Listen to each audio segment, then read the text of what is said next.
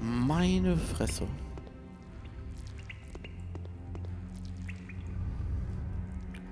So, soll ich speichern? Soll ich speichern? Ich glaube, ich speichere lieber. Besser ist das, glaube ich. Also es ist, ist glaube ich, wirklich einfach sehr viel Zeit fressen, da nicht zu speichern und das 10.000 Mal zu äh, probieren, als wie gesagt immer zu speichern nach jedem Mist hier. Aber es macht auch einfach so keinen Spaß, ne? Die ganze Zeit so... Da ist er mal ähm, zu meinem Vorteil geglitscht. Man hat es gesehen. Er war eigentlich am runterfallen, aber dann... Nee, so hochgeglitscht. Zack. Musste ja sein. Ja, hör mal. Wenn er wenigstens nur an diesen blöden Kanten wegglitschen würde, dann... Okay, ne? Ist schon nervig genug, dass es das ist. Aber warum springt der einfach nicht, wenn ich die Sprungtaste drücke?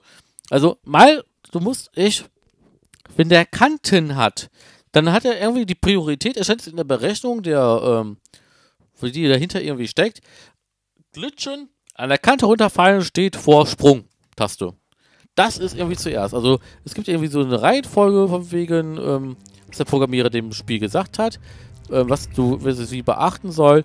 Und das ist dann erst einmal, ich frage erstmal ab, ob da eine ähm, Kollision ist, ob das, ähm, der Sprung theoretisch funktioniert, ob, wie, wie geht der Spieler. Das frage ich als erstes ab. So, und dann frage ich ab, was gibt der Spieler denn eigentlich ein? Und deswegen springt er einfach nicht. Obwohl ich die Sprungtaste drücke. Weil er da schon am Berechnen ist, nee, der Spieler, der fällt jetzt runter. Bevor er überhaupt gecheckt hat, ach, der Spieler will springen. Also ich muss ich äh, 10 Kilometer bevor ich ähm, da drauf springen, macht glaube ich keinen Sinn. 10 Kilometer bevor ich springen will, muss ich schon springen. Aber dann bin da. Ist doch, ist, ist doch so Mäusemelken. Das ist bei den neuen Tomb Raider-Teilen ganz gut, dass die sich immer festhalten. Bei, bei den alten hat die sich auch schon festgehalten, ne? Das habe ich schon immer gemacht. Dass sie sich auch an Kanten festgehalten hat. Ja, ich kann mir echt vorstellen, dass das Spiel bei vielen ähm, aufgrund dieser blöden Sprungmechanik ähm, unten durch war. Und das ist einfach schade, es hat so viel Liebe, so viel. Aber das ist genau das gleiche Problem, was auch Gothic immer hat. Also Piranha Bytes. Piranha Bytes kriegt es nie hin. Die haben es noch nie hingekriegt, ein vernünftiges Kampfsystem zu machen. In keinem ihrer Spiele gibt es ein vernünftiges Kampfsystem. Es ist immer einfach absolut unfair. Es ist, ähm, oder sinnlos wie bei Gothic 3. Äh, so einfach, du kannst da Millionen Feinde haben. Du schnetzelst dich da so durch einfach, weil die Gegner dich gar nicht schlagen. Ähm, wenn sie dich schlagen würden, würdest du es eh nicht schaffen, weil es einfach so viele auf einmal sind. Und es ist, es ist einfach sinnlos.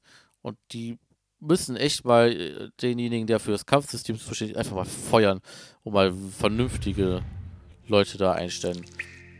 Weil das macht einfach die Spiele kaputt. Weil wahrscheinlich der gleiche Typ, der das hier gemacht hat, ne? Naja, keine Ahnung. Aber das ist einfach zu traurig. Ein Spiel aufgrund sowas von ähm, leider und das ist alles andere so cool ist. Wie bei Gothic auch. Die Kampfmechanik ist einfach ein Mist, aber das Ganze drumherum, die haben einen super geilen Flair. Es ist eine schöne Optik immer schon gewesen. Also jetzt immer zeitentsprechend. Und ähm, es war einfach sehr viel Liebe zum Detail äh, drin.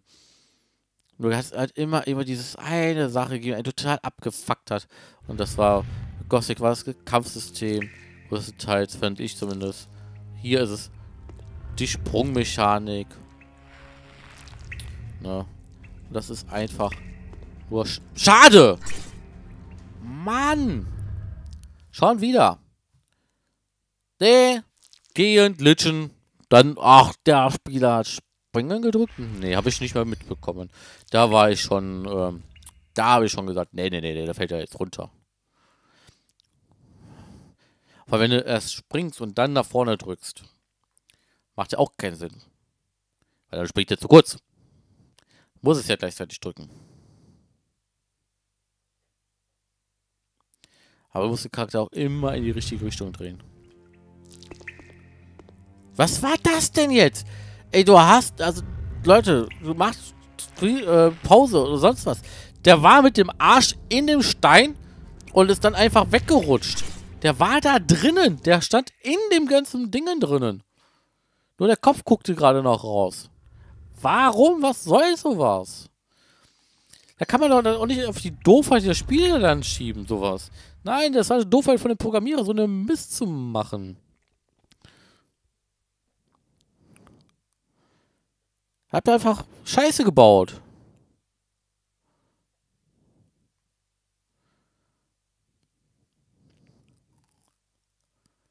Also ich habe euch bei den ganzen Durchgängen noch nie so viel Probleme gehabt. Ich habe das Spiel schon so oft gespielt. Das weiß ich. Ich muss das jetzt tatsächlich gleichzeitig nochmal auf Computer spielen, um es einfach zu äh, vergleichen. Das Blöde ist nur, dass die das Spiel ist halt, ist halt nur ein Windows-Spiel. Und mein Tower-Rechner, auf dem ich theoretisch Windows habe, der ist ähm, seit ja, acht Jahren nicht mehr angewiesen und er tut es auch nicht mehr. So, ich frage mich gerade... Nein, ich muss definitiv... Ich habe gerade dreimal nach unten gedrückt, bevor der nach unten gegangen ist.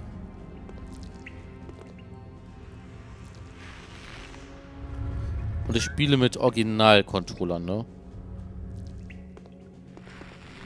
Verdammte Haxe, ey. Also das sind keine ähm, nachgemachten Controller oder so. Das könnte ja auch immer so Probleme sein, wenn man nicht Original-Controller nimmt. Dass die von den Druckpunkten und sonst was einfach nicht so ideal sind. Nein, das ist es nicht.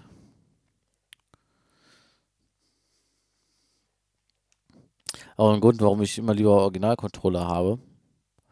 Ich meine, ich habe jetzt für den NES habe ich keine Original-Controller. Ich habe auch keine originalen NES. Ich habe immer noch holen. Weil mich jetzt hier zum Beispiel das ähm, äh, Twin Dragons ja nicht auf den Retron läuft, aber ich auch ja auf jeden Fall spielen will. Das hätte ich mir ja nicht gekauft. Ja! Ja! Was soll das denn? Es hat funktioniert. Ähm, deswegen brauche ich mal noch einen originalen NES. Dann hatte ich ja auch dann den Controller.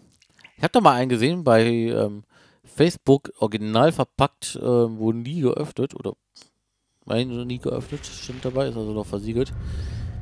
Äh, und man soll sich mit Preisvorstellungen melden. Ich habe keine Ahnung, was sowas wert ist, aber es würde mich auf jeden Fall reizen und ich würde das Ding auspacken und spielen, weil einfach nie einer dann angefasst hat. Ähm, auch wenn das totale Wertverlust wahrscheinlich ist, ähm, vom Sammeln her, aber ich finde es dann geiler, eine neue Konsole zu haben, die noch nie einer angegrabbelt hat. Ähm, keine Ahnung, was sowas, wie gesagt, wert ist. Und wahrscheinlich ist es mir einfach nicht wert. Wiederum, ne? Also, weiß nicht, keine Ahnung. Dann NES kriegt man ja schon relativ günstig. Da muss man nicht viel für ausgeben. Und wenn es da so Dinge irgendwie noch zielt gibt, hm, ich glaube nicht dass das äh,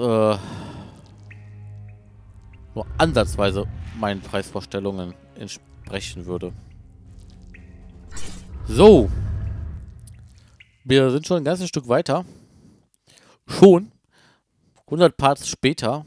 Und 300 Millionen Mal speichern und ähm, laden später. Besonders laden. Das sind nur zwei Sprünge oder? Doch, zwei. Und ich habe ja meine Taktik geändert, falls ihr es gesehen habt. Ich äh, drehe Melvin nicht mehr. Hm, blöde Frage. Wo muss ich hin? Nee, anscheinend doch nicht.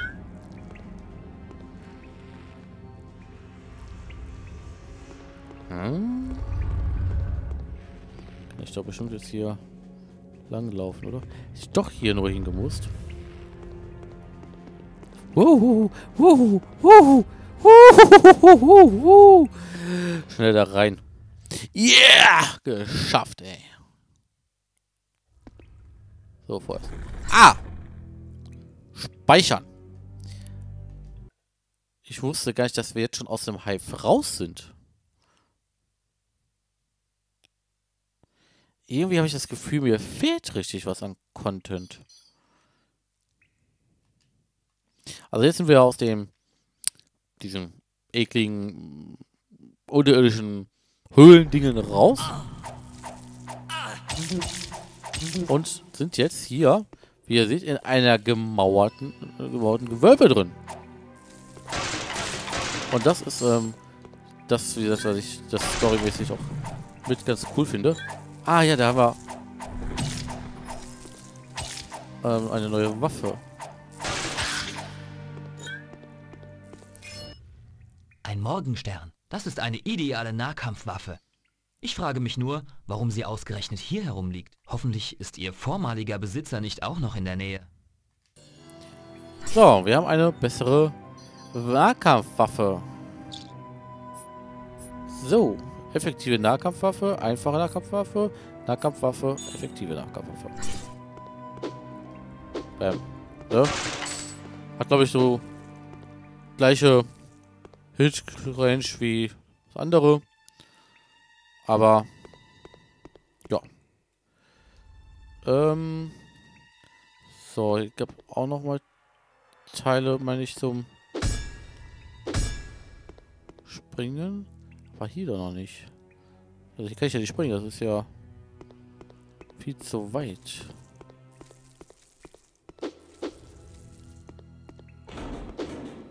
Ach, da war der Knopf. So. Das war nämlich auch so eine Art Rätsel hier. Ähm. So. Ich glaube, wir müssen einfach nur jetzt hier drauf, ne? Ah, ne. Da kommen wir jetzt nicht rüber. So, mal eben kurz ähm, speichern. Mal eben nämlich zu dem darüber laufen. Da ist nämlich wer. Also heißt laufe, da muss ich jetzt natürlich wieder springen, deswegen speichere ich ja auch. Ähm, weil es will auf der PC-Variante bin ich da so oft runtergefallen. Da, Nummer 1.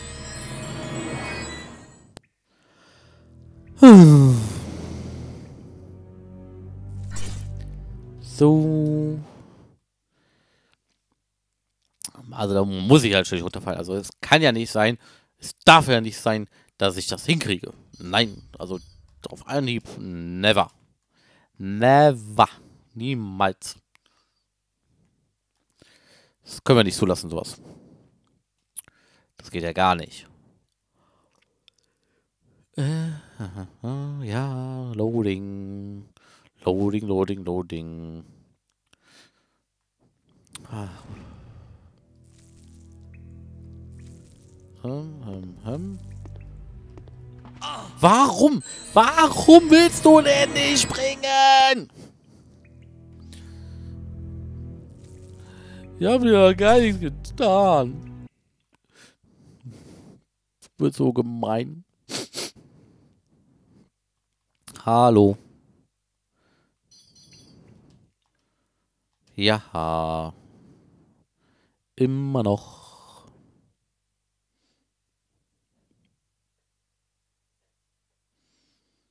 Noch mehr Loading.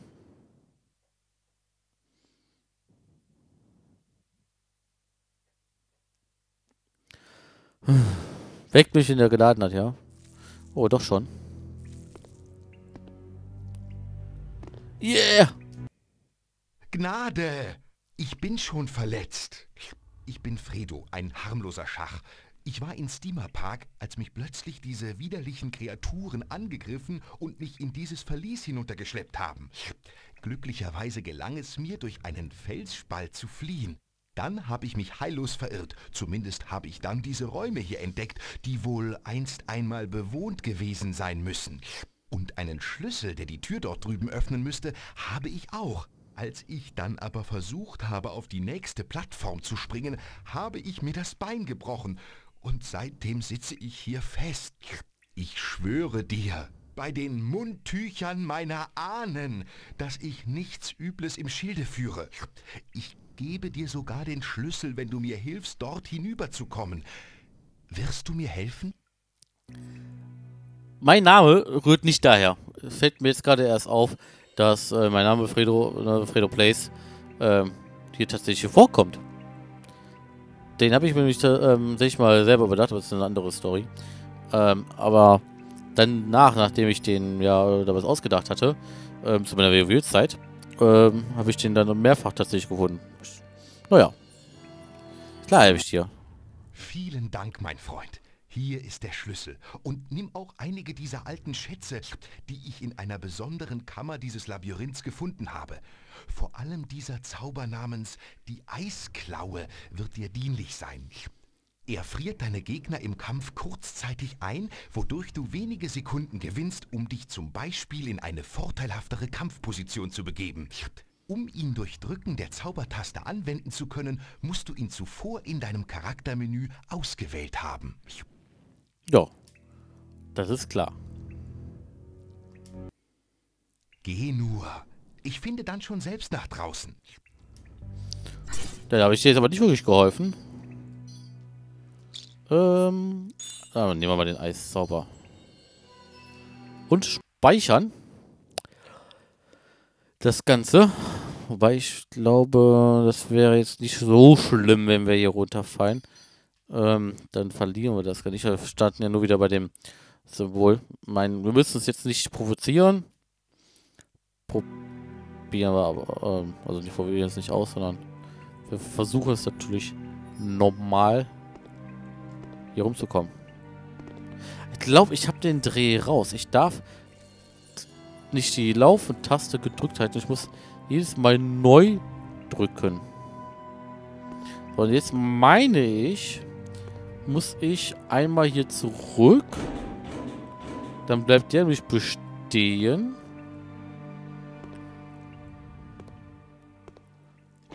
Und dann da drauf klappt nicht.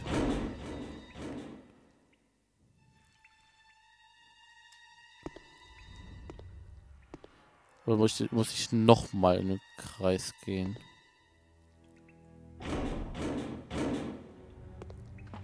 Ah, ist klar. Weil ich nicht in die richtige Richtung geguckt habe. Das, du musst immer in die Richtung gucken, in die du läufst. Ähm, sonst glitschst du halt daneben. Aber wir haben auch den Eiszauber behalten, also alles gut.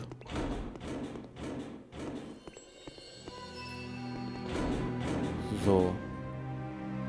Mal rum.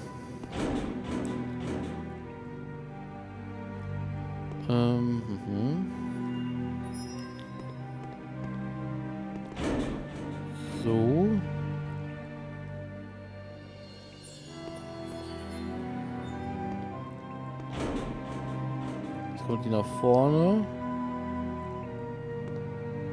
Jetzt nochmal hier lang drauf.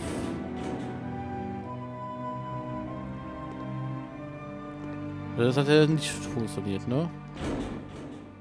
Ja, da geht der nämlich wieder weg. Also gehen einfach nochmal in den Kreis. Den hatten wir jetzt schon betätigt. Weiß nicht mehr genau. Das bringt ja hier gar nichts.